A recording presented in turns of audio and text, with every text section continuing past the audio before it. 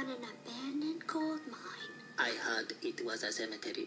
That's where they buried the miners. It's the windmill that does it. Turning, turning the air until the sky itself rages against the night.